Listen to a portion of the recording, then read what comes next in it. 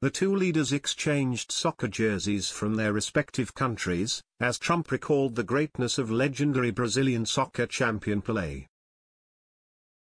Bolsonaro gave Trump a soccer jersey with his name on the jersey bearing Pelé's number.